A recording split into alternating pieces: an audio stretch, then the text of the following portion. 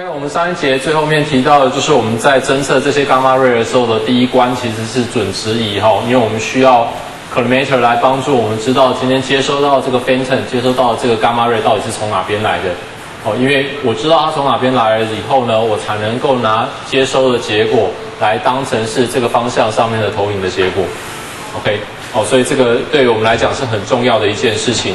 不过呢，它这个这个结构呢，虽然让我们知道方向，它的，但它有一个付出了一个蛮大的代价，就是其实我们只能运用其中很少的部分来进行成像，绝大的部分呢都没有办法通过准时仪哦，因为只要方向跟准时仪没有办法平行的话，通常来讲它就没有办法被通过了。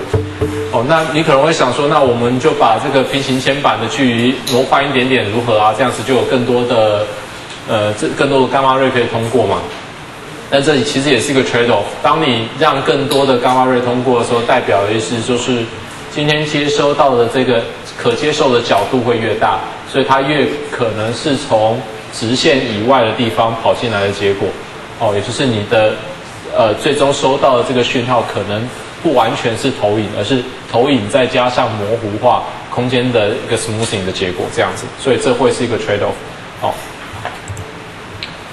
好，那接下来需要什么呢？除了这个 scintillator 把这个讯号转换成可见光以外，下一个就是光电倍增管嘛。这个名字我们在这边看到了。PM tube 的话呢，它可以把这个可见光转换成电子，而且放大它的电流讯号这样子。好，那放大了到了足够的 scale，能够让你去做那个观察了之后呢，哎，接下来就是去分析，呃，到底这一个讯号是从哪里来的。哦，请注意一下哈，我们现在的这一个呃。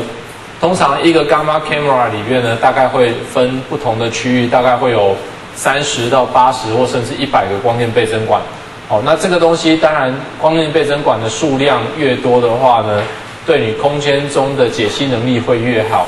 哦，不过因为由于它的体积受限哈，所以我们其实并没有办法把它扩增到非常非常高这样子。所以我们只能够去接呃去分析说，今天每一个光电倍增管所放大的讯号的分布，来去回推这个光子，呃，可能是从哪个地方被接收到的这样子。哦，所以这个是因为我们在空间解析度上面可能不是那么够所造成的一个现象。哦，此外呢，我们可能还会有一个东西叫做波高分析仪，这个东西要来做什么呢？它是去滤除低能量的散射伽马瑞。诶，这句话是什么意思呢？我们之前有提到哈，这种高能量的电磁波在通过人体的时候，其实有可能会跟人体的组织产生反应嘛，对不对？如果它今天产生的是光电效应的话，那它直接被吸吸收掉了，它能量完全被吸收掉了。换句话说，它没有办法传出，它已经整个被 absorption，它被衰减掉了，你收不到讯号，所以这个东这个状况你根本没有结果。那另外一个状况呢？另外一个可能性会是产生。康普顿散射，产生康普顿散射的时候呢，你会有一些出射光，它它其实还是会有电磁波跑出来，只是呢，它可能会带有一个折射角，OK，散射角。那这个角度呢，会跟你今天的呃打出去的这个呃动量平衡是有关系的。换句话说呢，我们说在这个状况底下呢，其实会改变伽马瑞前进的路线，OK。改变伽马瑞前进的路线是什么意思呢？以刚刚这一个图的例子来看好了，我们看一下，也就是说呢，如果今天一样，原本有一个在这个地方有一个放射性同位素产生了伽马效应，可是呢，它在离开人体组织之前呢，如果产生伽马瑞的话，OK，假设在这个地方，哦，说错了，在这个地方产生那个 Compton scattering 康普顿散射的话。它可能会改变它前进的方向嘛，对不对？举例来说，它变成这样走了。OK，它改变完的方向恰巧跟我们的准值仪平行，在这个最不幸的状况之下的话，这边收到讯号了。所以换句话说，它会误以为在这个延长线上面有放射性同位素的累积。可是事实上是这样子吗？不是诶，这个讯号是从旁边这边来的。也就是说，这样子的汤普森散射的发生会导致我们对讯号来源的错估。哦，所以理其实理论上我们希望这个东西呢能够被排除在接收的讯号里边。诶，那问题来了，我们怎么可以知道这一个接收到的这个伽马 ray 到底有没有经过 Campton scattering？是有被散射的还是没被散射？我要怎么去分辨？我可以从能量上面来分辨。为什么？因为经过 scattering 之后，它的能量一定会变低，对不对？而且别忘了一点，我们刚刚在说这个呃核子医学影像的时候，我们说我们的讯号的来源是因为不稳定的核种、不稳定的放射性同位素释放了能量以后达到稳定态嘛。所以它是一个能阶的跃迁。换句话说呢，你所释放出来的伽马射线，它的能量都是一个固定的值。比如说以达来讲的话，通通都是一百四十 keV。所以如果你今天发现有一个伽马瑞的能量明显的比一百四十 keV 还低的时候，哎，那你是不是可以合理的去判断这一个光子应该是经过了 Compton scattering 之后散射出来的伽马瑞？OK，所以这个 pulse height analyzer 呢，它其实就是用来去滤除这些利用能量的差异，去滤除掉这些低能被散射过后的伽马 ray，因为这些被散射的伽马 ray 呢，其实没有办法给你带来正确的空间资讯，它只会误导你而已。OK，有绝大的、极大的可能性是误导你的，所以呢，我们把这个部分给判给去除掉。OK，那最后的话就是我们刚刚说的，我们当然需要去根据每一个呃直接穿透出来的这些伽马瑞呢，去判断它的来源。OK，哦，所以我们从有限的这个 PMT 的通道上面呢，去更仔细的推测它的呃来源所在，这样子，这个就需要仰赖那个位置逻辑电路的一个运作。好，在所有的元件都配合起来的状况之下呢，我们就可以把它装成是一个。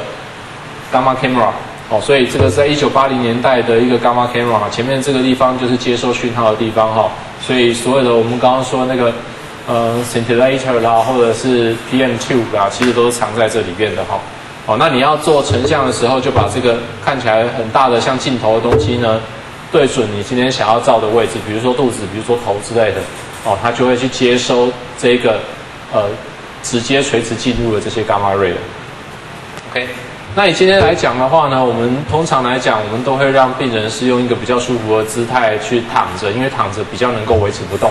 哦，不管是坐着或站着的话，你都很容易会在几分钟之内就受不了，就会动了。哦，所以通常都是躺着的方式，像右边这个样子。哦，那这个就是我们的 Gamma camera。OK，那为了要增加吸收的效率、接收讯号的效率，通常来讲，我们甚至有可能一次会有两个 Gamma camera。各位看一下下面这个地方。这个也是 gamma camera，这个也是，所以这是 dual head。哦，那甚至也有 tree head，就是呃每隔一百二十度就放一个 gamma camera。它的用意就是说，你因为反正你现在 gamma 呃 gamma camera 哎 gamma ray 是随机被放射出来的嘛，对不对？任何方向都有可能出来。那我与其在那边等待时间，浪费掉其他方向的 gamma ray，倒不如我全部都放着，我能够接收越多是越好的。OK，我可以一口气接收不同角度的这一个放射线的一个分布。OK，哦，那当然代也是做这件事情是有代价，就是成本要提高嘛。呃，一个你今天从一个 gamma camera 变成三个 gamma camera，你的成本在这个部分大概就变成原本的三倍。OK，好，所以做出来影像呢就可以像这个样子。OK，举例来说，它看起来像这个样子。哇，看起来怎么好像都是杂讯啊，都糊糊的一片。有人知道这个是哪个器官的吗？哦，很好，有人讲出来哈，肺部。OK，这边有六个影像，它分别代表的是从不同的方向去看肺部。OK，其中 anterior 部分就是人体面对的前面，从正前方照出来的结果；posterior 就是从背面照的结果。然后这边有一个 IO，IO 代表就是 right anterior posterior 的 orientation。OK。前面这两个字分别代表的是右前方，所以是从右前方照你的结果。L A O 的话就是 left anterior orientation。OK，那下面这两张一样，哦，所以它其实是从斜方向照过来的结果。也就是说呢，你刚刚看到那个 gamma camera 的话呢，它放在一个方向可以得到一张影像，移动一个角度就可以得到一张影像，再移动一个角度就可以得到另外一张影像。OK，它可以得到不同影像投影的结果，这样子。对，这种单张影像我们就把它叫做 planar scintigraphy。OK，这就是最典型的合一影像。好，那再回到我们刚刚一开始的疑问啊，怎么看起来这么不清楚啊？好像看起来很不清晰耶，跟之前习惯，如果你习惯了 CT 的影像品质的话，你会觉得这个这个东西好像有一点点逊呢，是这样子的意思吗？来，其实主要的话呢，其实是要看你要想要看什么东西。通常来讲，我们在做核核子医学影像的时候，有一个很重要的目的，我们就是希望能够知道。标记的这个化合物，它在身体里边的分布是什么样子的？那至于它在身体内会怎么样子分布，往往会跟你器官的功能有所关系。OK，哦，比如说在这个地方的话呢，通常肺部的影像，我们是吸入一些放射性的气体、惰性气体，OK，然后接收这些惰性气体所释放出来的伽马射线。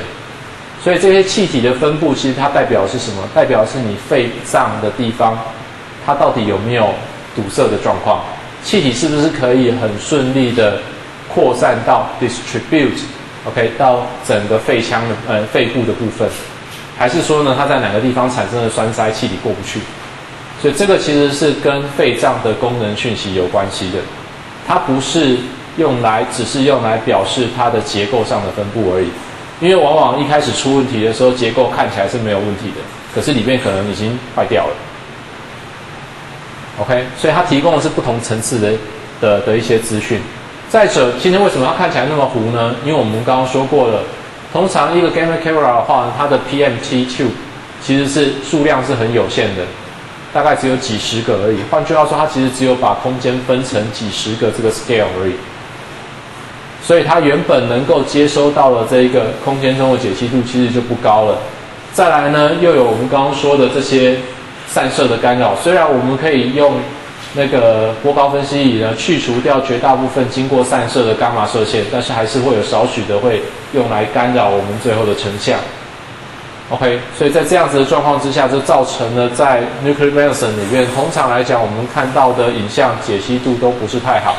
大概都是以公分为等级的，相较于之前我们上礼拜在讲电脑断层扫描的时候，它的解析度是一个 millimeter，也就是零点一公分的等级，其实是有显著上的差异。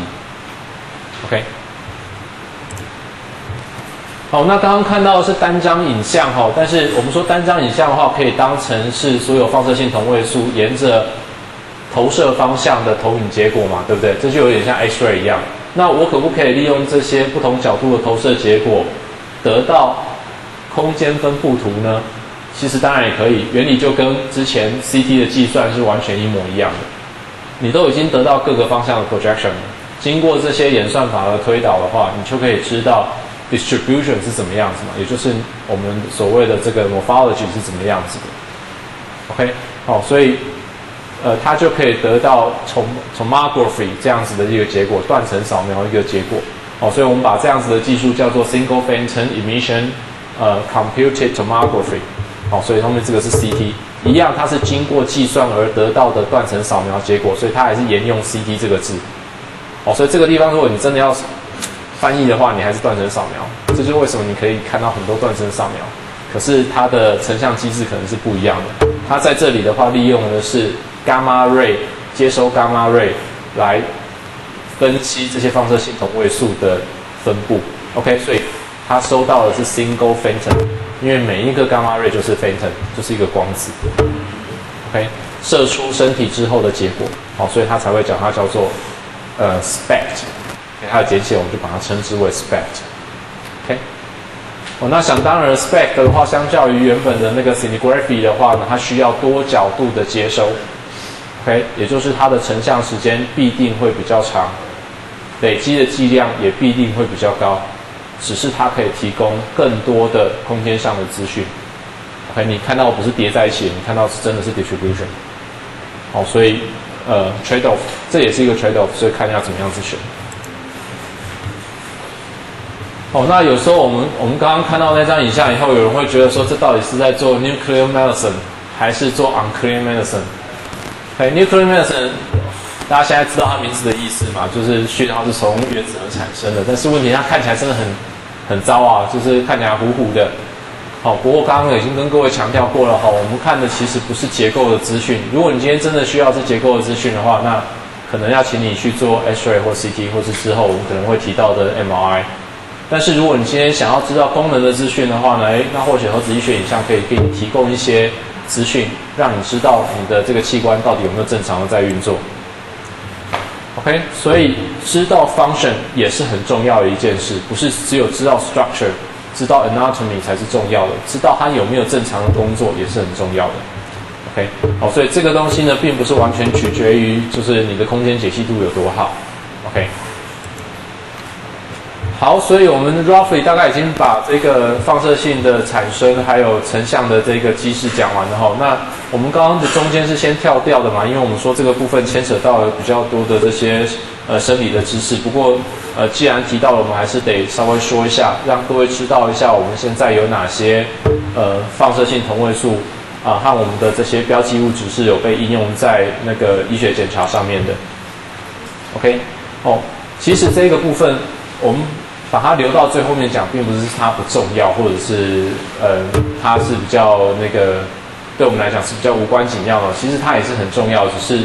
呃，我们比较没有办法在这个上面多做一些什么样子的说明哦。事实上，它的重要程度是不亚于我们刚刚说的那些工程的结构，因为我们都知道，在合一里面最重要的是观察这些放射性同位素标记的这些物质，它的分布是怎么样子。也就是我想要知道是功能的资讯，那它到底是什么样子的功能，就跟你今天到底拿什么东西去标记会有很大的关系。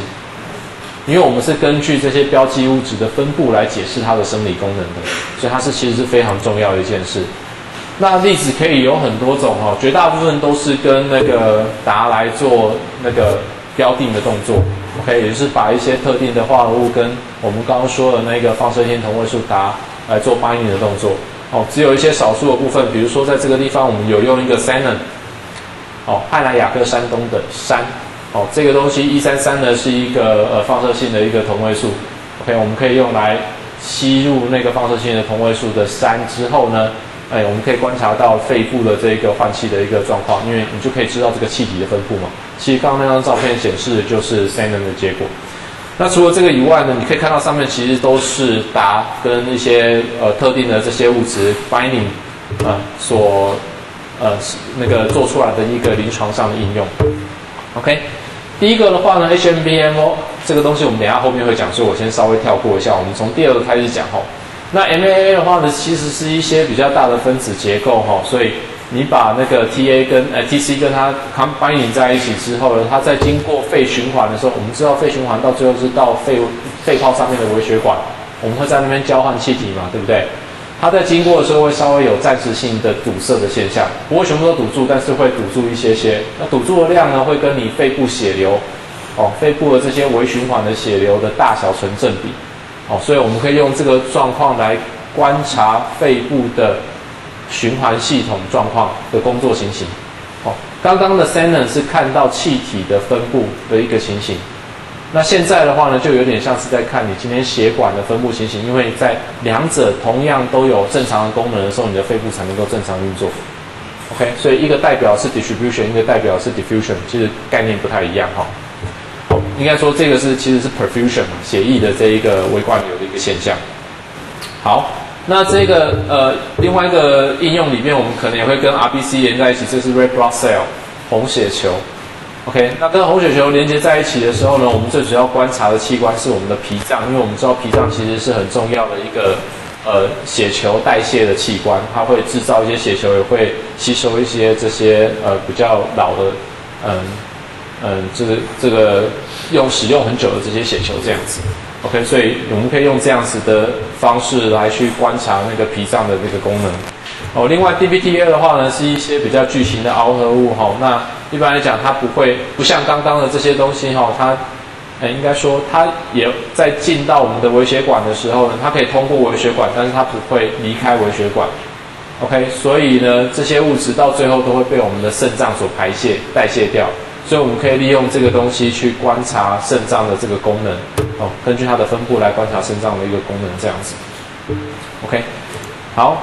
那我们来拿一下我们刚刚想要解释比较久的这个 HMPMO。HMPMO 是一个很长的化合式哈，它各位可以看一下，我也不会念这个到底要怎么样讲。OK，总之各位可以看到它其实是一个中性，然后比较巨型的一个分子。它比较有特别的一点就是，它会经由血液进入到我们的脑组织里面。那进到脑组织，从微血管扩张出去，进入到组织之后，它会转换成极性分子。然后呢，就会留在那个地方，OK，直到它比较长的时间被代谢掉为止，它会暂时的停留在那个地方。所以呢，我们去观察脑部的伽马瑞的分布呢，我们就可以知道这个 HMPMO 的分布，它大致上会跟大脑里边的组织的血流成正比。哦，大脑每一个组织的这个血流会成正比，所以我们可以观察这些脑细胞到底有没有正常在运作。好，那各位可以看一下哈，上面这三张呢，基本上就是一个正常的受试者注入了 HMPMO 之后所获得的影像结果。OK，它是用 SPEC 来做成像的动作。换句话说，我今天得到不是投影而已，我得到的是空间的分布图。那空间分布图的话，它给你三个不同的切面，分别是这个是 Actual 哦，这个切面，还有 Chrono 这样子的切面，还有 Sagittal 这样子的切面。好，其中 sagittal 的话，这个看起来的话，应该是眼睛应该在这个地方，那个后脑勺在这个地方这样子。好，所以各位可以大致上看得出来哈，它大概都是周围比较亮，中间比较暗这样子一个 pattern。为什么呢？因为大脑的神经细胞主体主要是分布在大脑皮层，OK，皮质的这个地方，所以它是比较靠近边缘的位置。好。这边的灰质呢，其实分布有很多的神经细胞，所以它需要的血液供应量是比较高的，所以你看到的密度其实比较高，啊，亮度会比较高。下面这个呢，其实就是一个呃一个中风的患者在大概呃中风四个小时之后所获得的一个影像。同样的患者，他去照 CT 也去照 SPEC，哦，差别在于，哎，这个这两个 space 怎么一张黑白一张彩色？其实没什么，只是他今天在做显示的时候，一个是用。灰阶的一个表示法，另外一个是用彩色的表示法。灰阶的表示法里面，我们知道我们大概就是使用不同的呃黑色到白色来显示强度讯号强度的大小。通常来讲，白色地方表示的是最高强度的位置，所以大概就是 HMPL 分布浓度最高的位置。那以彩色的分布的话，最常见的这个彩色的坐标呃显示轴的话呢，大概就是红橙黄绿蓝靛紫的方式。红色代表的是最高的量，然后黄色次之，然后到蓝色、绿色的时候都是比较低落的一个位置。所以其实你可以看到，它其实是一个轴向切面哈，跟这个地方位置不会差太多。那你也可以观察到，在右脑的部分，我没有指错哈，呃，那个在那个呃 radiology 上面的话，我们看到影像是左右相反的哈，所以这边是受试者的右脑。右脑的部分的话，你可以看到有红色的这些红或者黄色的分布，其实是跟之前的结果蛮一致的。可是，在左脑的部分呢，这个地方很明显的缺了一块。哦，这个这个其实就是它在动脉，它在大脑的动脉里面产生阻塞的现象，哦，生成了我们所谓的缺血性中风这样子的一个结果。哦，那因为上游已经阻塞的血液过不来，所以它的细胞其实在很短的时间之内就会死掉，根本撑不到四个小时那么久。OK，所以这个时候照到的时候，很明显的是那个地方的细胞已经死掉了。所以尽管在 CT scan 下面呢显示其实没有很明显的差异，就是结构上面是正常的，但是其实它的功能已经 fail 了。OK，所以在呃治疗的部分所采取的的方式会是完全不一样的。呀，因为这个地方对呃医学来讲的话，其实它就是已经全部都挂掉了这样子。呀，好，我们现在大概已经把正子呃，sorry，把那个合一的的一个很主要的概念全部都讲完了哈。那接下来的话呢，我们要来提另外一个呃，最近这十几二十年来呢，在合一里边一个很重要的一个影像机制，哦，我们把它叫做正子断层扫描。哦，所以又有又有一个断层扫描了。不过各位现在就知道，断层扫描它其实指的是一个呃影像呈现的方式，影像重建的方式。好，那通常来讲，我们讲的电脑断层扫描，我们把这个 turn 留给 X-ray 所产生的那那一种呃空间的分布影像。那其他的话都会加上其他的字这样子。那这一个呢，就是使用正子来完成断层扫描的一种影像机制。哦，所以我们刚刚一开始第一节课埋了个，现在要挖出来讲一下了哈。它是用 position emission，不是 single photon emission，是 positional emission tomography。哦，简称的话叫做 PET，PET。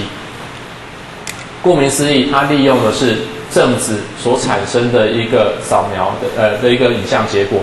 不过我们也知道哈，正子我们刚刚说过，正子在自然界里面非常非常的少见。就算它真的产生了以后，它也会很短的时间就消失。为什么呢？因为我们的自然界里面有很多的这些电子，OK，它会很快速的跟这些电子结合，就消失掉了。哦，电中心就不见了。OK，那我要既然它消失不见了，那在人脑里面也是这样子啊，人体里面也是这样子啊。我们就算能够产生，它也一下就不见了。就算我们今天有正子的衰变，它也会不见。那到底是怎么样子才能够获得讯号的呢？它其实是是利用衰不见之后的生成物来作为讯号来源。OK，不见以后会产生什么？它会产生伽马瑞。等一下我们会说明哈。我们现在解释一下正子这个东西。OK，我们刚刚说正子的话，可以当成是电子的反物质哦，因为它们的质量和电量、电荷量其实是一样的，只是极性相反而已。哦，往往是由贝塔正衰变而产生的一个结果。但是正常的状况之下，自然界没有这种衰变，哦，几乎没有。OK，它只有在很少数的核种上面才会产生。哪一些核种呢？就是它的正电量太多的核种。什么叫正电量太多的核种？也就是一般来说，在稳定的原子核里面，质子的数量跟中子的数量是差不多的嘛？起码在原子序的低的时候，它的数量是差不多的。比如说碳，就是碳十二的话是六个中子，六个质子；氧十六的话就是各八个，它们其实是一分的状况。那正子衰变什么时候会产生呢？它就是如果有一个核种，它的质子的数量比中子的数量还多的时候。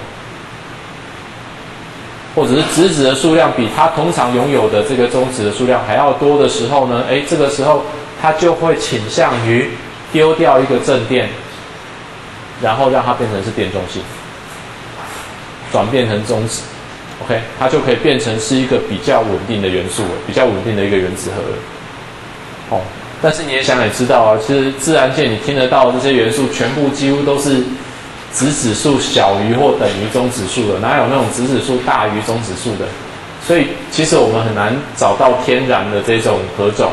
好，通常来讲呢，你要能够制造出这些核种，都是在实验室里面才做得出来。用什么样子的方式做出来呢？cyclotron。OK，cyclotron 是什么？回旋加速器有听过吗？通常来讲，好像是翻译成这个名词。哦，它其实就是利用电场跟磁场让。我们的原子核能够高速运运动，转转转，加速加速加速加速，到最后的时候够速度够快的时候呢，再让我们撞在一起。撞在一起会怎么样？因为速度很快嘛，撞在一起的时候，它就会粉身碎骨嘛，就是整个会裂开来，分裂成比较多的小碎块、小粒子。OK，然后我们可以用这样子的方式来观察这些基本粒子的特性。那在这个过程当中，我们也通常能够产生一些比较平常不常见的这些原呃那个原子核，OK，譬如就是我们的这些可能会产生贝塔正衰变的这些核种。哦，那在我们的 PET 正磁断层扫描里面，常常使用的这些放射性核呃同位素包含了哪些呢？包含了氟、氧、碳和氮。那我们来看一下，氟是氟十八哦，常见的氟是什么？常见的氟的质量数是多少？有人知道吗？不是十八哦，常见的是氟十九，也就是它有九个质子和十个中子。这个呢，氟十八代表的是它的中子的数量比人家少一个。我们知道元素的种类是根据它的质子的数量来决定的嘛，对不对？所以它们的那个质子数都是九个，不过在氟十八里边，中子数也只有九个。OK。在这样子的状况之下，它其实倾向于去产生一个中子，来让它的原子核比较稳定。还有什么东西呢？比如说氧，正常的氧是氧十六，我们刚刚说过了，但是这里使用的氧是氧十五，也就是它的质子一样是八个，但是中子只剩七个。啊，数目是比我们的质子还要少。碳呢，不是碳十二，也不是碳十三，是碳十一。OK，再来呢，氮一样，氮不是氮十四，它是氮十三。所以你可以看到这些核种，它其实有一个共同的特色，就是它跟刚刚我们看到的那个，呃，在以前在那个产生这个伽马瑞的这种核种不太一样，就是它的原子序多半是属于比较小的，刚刚都是比较大的嘛，对不对？现在其实都是比较小的。然后呢，它们的质子数量呢，通常是比中子还要多一点，或是 even。哦，像这个符来讲，就是它们俩是一样的。OK，所以呢，在这样子的状况之下，他们会倾向于释放出那个中子呃正子，来让原子核更稳定。好，那既然讲到它们是会产生衰变，那我们就来提一下它的衰变的这个半衰期。氟来讲的话是一百一十分钟，这个地方两分钟；碳十一的话是二十分钟，氮十三的话是十分钟。所以 roughly 你可以看得出来，其实它的时间是稍微偏短。然后在这几个可能被使用到的元素里边，我们可以发现，其实氟应该会是比较好用的。OK，它的普普及率应该是可以最高的。为什么？因为半衰期比较适合两个小时，因为你还是需要有一些运作的时间嘛，两个小时勉强还 OK。可是如果只有十分钟的话，那真的蛮少的。OK，只有十分钟、两分钟的话，真的很短。你在做的合成的速度要非常非常的快，才能够有效的利用它的这些衰变产生影响。OK，好，所以氟的这个普及率可能会稍微比较好用一些些。好，来看一下，我们刚刚说，既然今天要制造它的话呢，只有 cyclotron，而且它的半衰期又这么短，所以你就知道。呃，其实，在医院里面呢，比较头大的部分就是我很难去。我们刚刚说，呃，我那个在答的这一个部分的话，答的放射性同位素，我们可以在一个区域里面产生好以后，再送到临近区域的这一个所有的这些医院，哦，所有有 SPECT 或是 Gamma camera 这些医院的设备里边去使用。可是，如果是 PET 的话，其实是有点麻烦的。对于正子断层扫描来说的话。即便你今天使用的是那个氟十八，它的半衰期也是有两个小时。两个小时就是说，你今天合成的话呢，你你可以用来运送的时间，其实已经不是很多了。哦，你随时都要这分秒必争就是了。OK，那起码我要高雄地区可能只能有一个而已。那更常见的状况就是，你可能必须要在医院里面设置一个 cyclotron，小型的 cyclotron。来产生你所需要的合种，这样子才能够在减少这个运送的时间，在够短的时间之内合成这些药物，然后打入人体里面。OK，好，所以这个是 Siemens 的设备哈，它就是除了你有那一个 PET 以外，正子那个呃断层摄影的这个 device 以外，你还必须要再额外添购这个 cyclotron，你才能够做这件事情。哦，这也造成了，其实，在所有的影像设备里面，其实 PET 的成本是最高的。对，因为这些设备都不是大家都可以知道，它不是简单的呃几十万、几百万可以解决的，它其实单位都是亿。OK，好，那我们必须要强调一点，哈，今天虽然它叫正子断层扫描，但是其实我们不是去侦测正正子，我们不是去侦测这个我产。呃，这个正子衰变、贝塔正衰变所产生的正子，原因很简单，因为正子一下就消失了。所以我们刚刚有提到，其实我们是收集这些正子所产生的一些产物。OK，什么产物呢？我们刚刚说了，其实正子很容易跟自然界的电子做结合，这一个有一个专有名词叫做互毁 （annihilation）。哦，因为它们的电荷一正一反刚好相反，所以加起来以后电荷就会中和掉了。然后呢，它会转换成能量。诶，两个有质量的东西怎么转换成能量呢？就是 E 等于 mc 平方，用爱因斯坦那个很著名的公式来把它转换成能量的一个方法。OK，所以它释放出来的这个伽马瑞呢，它其实是有一个固定的能量的，因为正子和电子的质量是固定的嘛。不管你今天是哪一种核种，你所释放出来的正子都是长得一样的。所以呢，在 PET 里面，不管你刚刚使用的是氟十八还是氧十五，你今天释放出来的伽马 ray 的能量都是一样的，它大概是五百一十一 keV，哦，能量其实是比我们之前还要高蛮多的。OK，然后呢，我们今天所产生的这些伽马 ray 呢，有一个特性是什么呢？就是因为我们刚刚说这些质量没了嘛，完全转换成能量嘛，对不对？但是除了动能那个能量守恒以外呢，它还会遵守动量也要守恒。OK，那动量怎么守恒呢？就是说我今天不能一次只有产生一个伽马 ray，它会同时间产生两个伽马 ray，然后它的前进方向会刚好相反。完全相反，一百八十度相反。哦，所以这个是一个示意图哈。这边呃黑色底有一个正字的，这个代表我们的正子，它会跟环境中的这些自由电子结合，哦，产生互毁的效应。互毁完了之后呢，它就会产生两个伽马瑞往一百八十度反方向地方而去。这个特性非常非常重要，为什么呢？因为我只要能够同时接收到互一个互毁效应所发射出来的这两道伽马 ray，我就可以知道这些光子前进的路径是怎么样。OK，这点为什么很重要？来，请问一下，我们刚刚在 spec 里边或者在 gamma camera 里边，我们要怎么样子知道这个伽马 ray 的前进路径？我们仰赖的是很多平行的铅板嘛，对不对？所以我们刚刚说这一个铅板的话，可以让我们知道空间上面前进路径这个 information，但是它的代价就是很多的光子都会被挡住，你都用不到。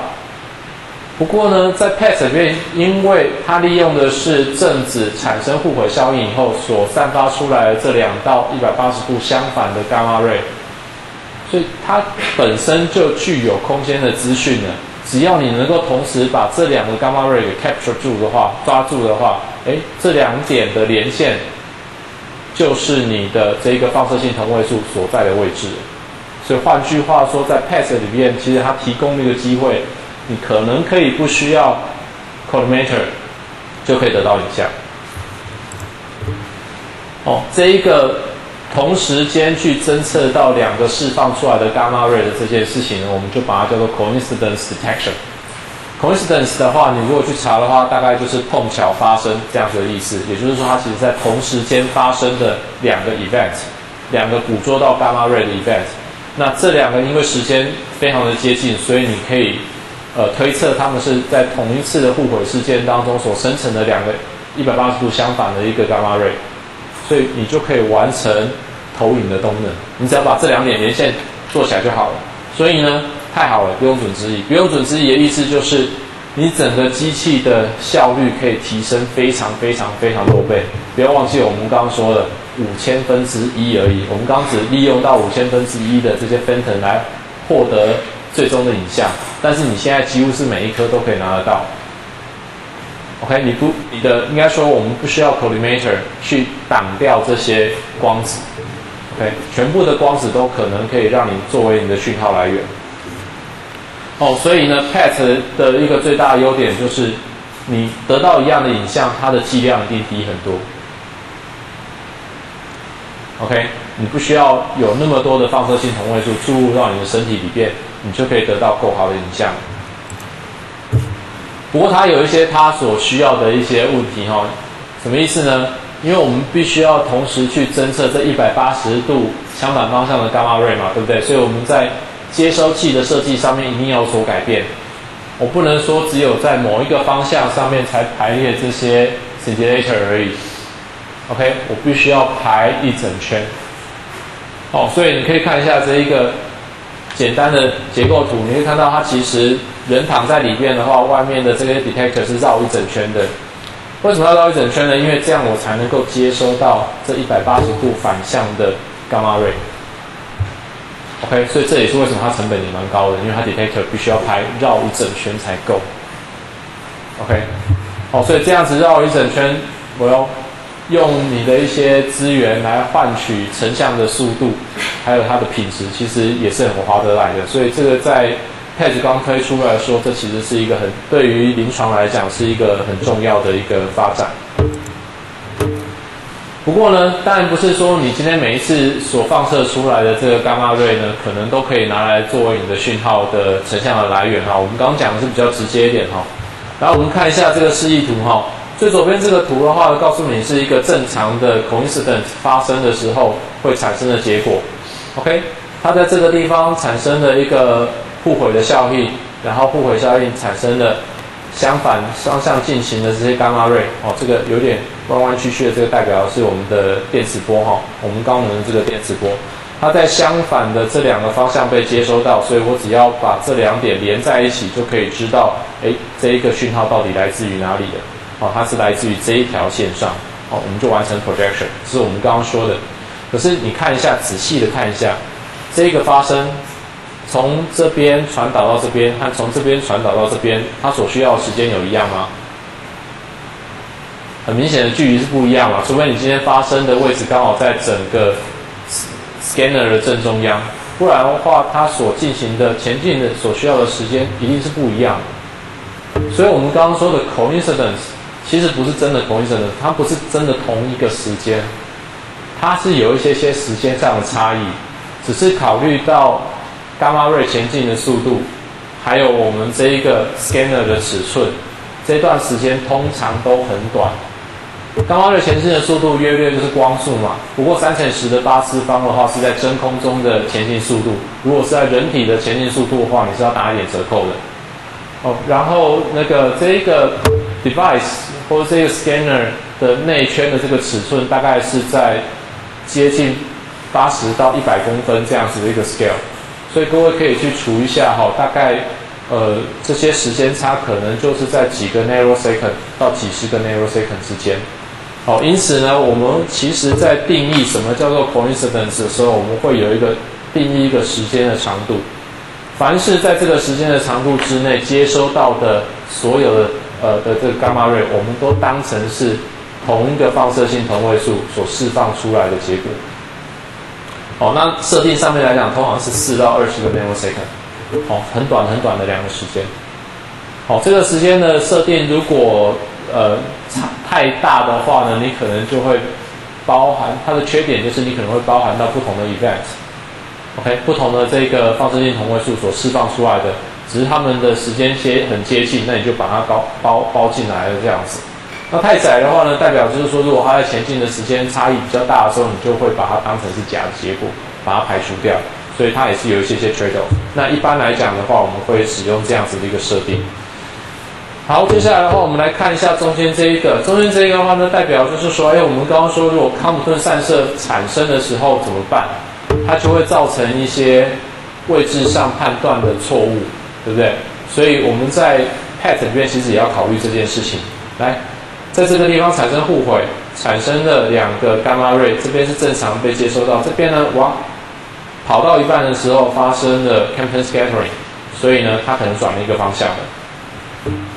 OK，但是呢，它花的时间又不是很久，它可能在这个呃 window 底下，这个空时钟 window 底下被接收到。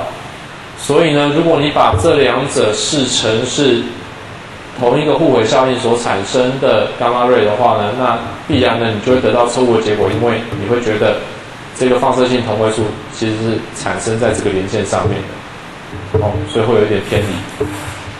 好，那这个偏移就会造成你对于那些放射性同位素位置上面的错误估计，会让你影像变得会比较模糊。好，所以其实在这个 PET 里面，我们也会适度的针对接收到这个光子的能量去做评估，就有点像刚刚的波高分析一样。如果今天它的接收到能量不太对劲的时候，低于原本应该有的这个能量，就是五百一十一的 keV 的时候，我们就会把它滤除掉。一定也会有这样子的动作，才能够让你的影像看起来更清楚。最后这一个，这个是可能被可以被解除的，但是最后这个真的没有办法了。好，这是一个 force event，就是说你今天如果真的发生这种状况的话，你一定会得到错误的结果。什么样子 event 呢？就是同时间产生了两次互毁效应，这边也产生一个正值，这边也产生一个正值，所以同时间产生了两个互毁效应。然后呢，它可能被不同的这些 detector 所接收到，哦，这个时候你就不知道应该要跟哪一个东西连上线。OK，那甚至呢，如果在这一个 detection 过程当中，哎，它还发生了一些，比如说 photoelectric effect 光电效应，把这些干扰热也吸收掉了，当然这机会不是太大。不过一旦这样子的状况发生的时候呢，诶，一样的你也会产生一些 error 哦，因为其实像比如说这个例子来讲的话，你好像应该要在这个地方连线，不过呢，其实是因为这个地方产生的光电效应造成的光子被吸收，所以这边收不到讯号的结果哦，所以这样子必然也会产生影像的一些模糊。OK，那这个地方根本没有那个能量，像 Hampton scattering 这样能量的差异可以用来做评估。哦，只是这种 event 比较少发生，所以虽然会发生，但是干扰上面还是可以接受。OK，影像会稍微变得有一点模糊，但是比例不是很高，所以呃勉强还是可以接受这样子的一个成像结果。OK，哦，所以这件事情告诉你说，PET 的确可能可以让它 PET 的影像多半来讲都会比刚刚的 SPEC 更清楚，因为我们。在利用度上面，利用这些光子成像，利用伽马瑞成像的，呃，这个效率上面是高了非常多的。但是呢，它还是会有一点点模糊的现象，这样。来，我们看一下一个最常见的经典的一个应用成果。哎，不过等一下，时间差不多了，我们先休息一下好了，等下再来继续。